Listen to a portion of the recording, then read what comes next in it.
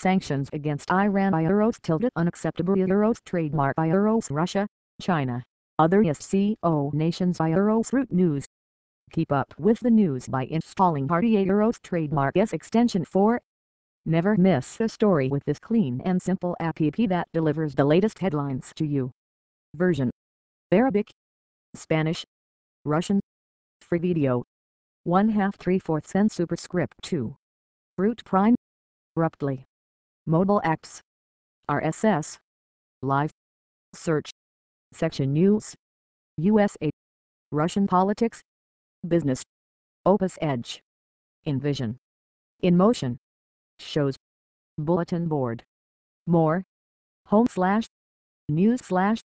Sanctions against Iran Euros tilted unacceptable Euros trademark Euros Russia, China, other SCO nations. Published time, September 13, 2013 1927 Get short URL. September 13, 2013 Russian President Vladimir Putin, back center, at an extended meeting of the Council of Heads of State of the Shanghai Cooperation Organization SCO in Bishkek. RIA Novosti slash Michael Klimentyev.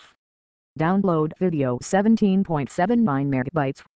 Tags Kazakhstan, Nuclear, Politics, Sanctions, Security, Terrorism. Sanctions against Iran are Euros tilted unacceptable Euros trademark, stated the SCO summit participants. Iranian President Hassan Rouhani said he wants the Euros tilde swift resolution on Euros trademark to the issue of Iran's nuclear program, but will not sacrifice its rights for the sake of a solution.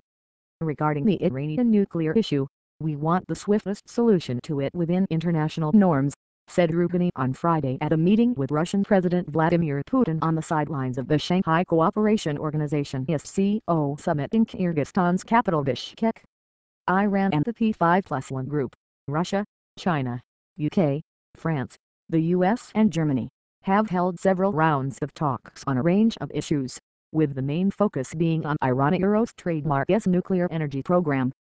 Some Western countries, mainly United States and Israel presume that the program is aimed at developing nuclear weapons and suggest imposing new sanctions on the Islamic Republic in addition to the existing restrictions on the economy, targeting investments in oil, gas and petrochemicals, exports of refined petroleum products, and others. The SCO is an intergovernmental security organization that was founded in 2001 in Shanghai by China, Kazakhstan, Kyrgyzstan, Russia, Tajikistan, and Uzbekistan. Iran, Afghanistan, India, Mongolia, and Pakistan have observer status. The SCO is primarily focused on its member nations' Central Asian security-related concerns, describing the main threats it confronts as terrorism, separatism and extremism. Tajikistan will replace Kyrgyzstan as chair of the SCO during the next summit in 2014. Particularly, Israel's ambassador to the International Atomic Energy Agency IAEA Ehud Azoulay said on Thursday that the change in Iran's presidency does not mean a change in their nuclear policy, stressing that Tehran continues to seek nuclear arms under its newly elected President Rouhani. However, Iran says its nuclear program is aimed at developing energy and medicine, as the country has the right to use nuclear technology for peaceful purposes.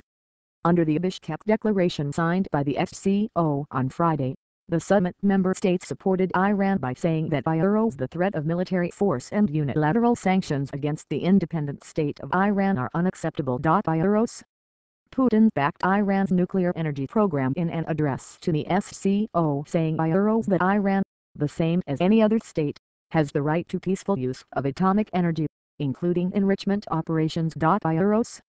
Putin said at the meeting with Rouhani on the sidelines of the summit that Iran was a Euros tilde good Euros trademark adding that Russia hopes for further cooperation with Tehran. The parties stayed away from discussing the issue of constructing a new building at Iran Euros trademark's Bushehr nuclear reactor site, said Russian presidential spokesman Dmitry Peskov.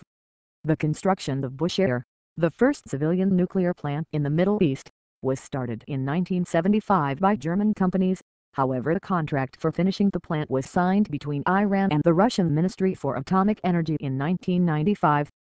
Bushehr nuclear power plant launched in 2011 has no link to nuclear weapons production and cannot be used to develop such technology. Rouhani invited his Russian counterpart to Tehran, Peskov said